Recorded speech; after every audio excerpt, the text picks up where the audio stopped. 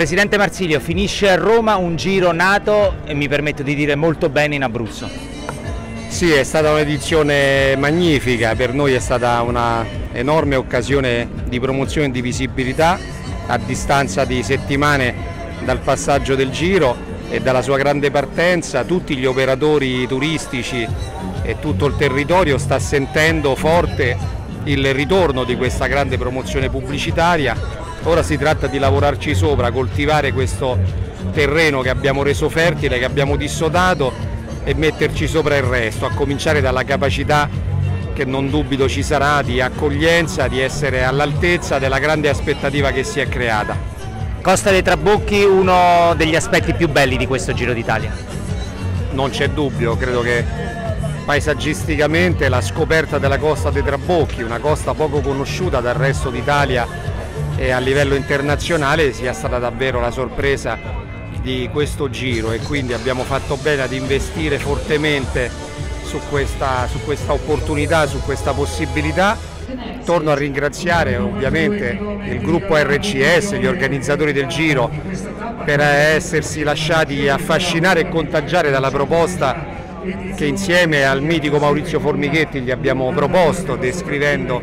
la bellezza del territorio e l'opportunità che quella pista offre anche di una prestazione agonistica perché naturalmente il giro non è soltanto promozione turistica, è, è prima di tutto un grande evento sportivo e noi dobbiamo mettere insieme l'uno e l'altro, compreso appunto il livello agonistico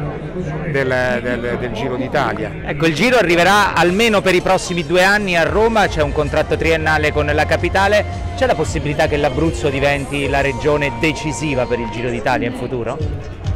Eh, diciamo che nel recente passato lo è stato perché le ultime due edizioni hanno visto vincere il giro quelli che si sono resi protagonisti delle tappe in Abruzzo. Quest'anno magari ci aspettavamo più competizione e una sfida più aperta sulla tappa di Campo Imperatore, non è stato così, però se non ci fosse stato il Covid penso che avremmo potuto anche quest'anno dire che chi aveva preso la maglia rosa in Abruzzo, cioè Venepol,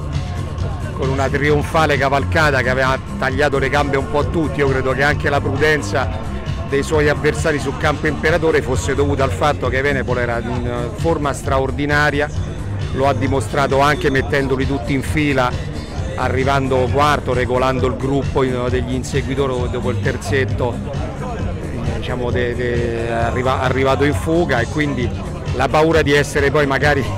come dire, strapazzati da un avversario che in quel momento non era affrontabile, li ha magari tenuti fermi, però sono quasi certo del fatto che se, avessimo, se non avesse preso il Covid oggi Venepol avrebbe vinto il giro, avremmo potuto dire ha preso la maglia rosa in Abruzzo e la riporta a Roma all'ultima tappa. Le chiedo un'ultima cosa Presidente perché oramai è sulla bocca di tutti la possibilità di Avezzano, la terra di Vito Taccone nel prossimo anno, può fare chiarezza se sarà una cronometro, se sarà una tappa, se ci sarà anche un tappone appenninico come piace a lei? No, non possiamo fare chiarezza perché non siamo noi che organizziamo il Giro d'Italia, noi possiamo